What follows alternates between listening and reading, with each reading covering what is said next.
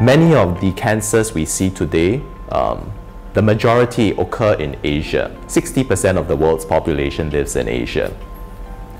This means that many of these cancers, which are Asian, will have Asian solutions. Lucence today is headquartered in Singapore and we have offices in San Francisco, uh, Suzhou in China, as well as in Hong Kong.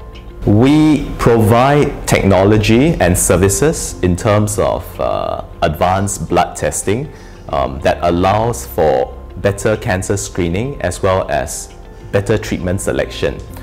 I want to achieve zero avoidable cancer deaths.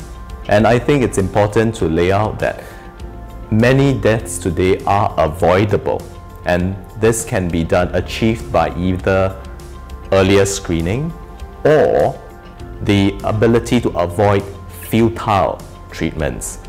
And I think with the, with the assembly of better technology, better solutions, better delivery of these solutions, that we can achieve that um, goal of zero avoidable cancer deaths.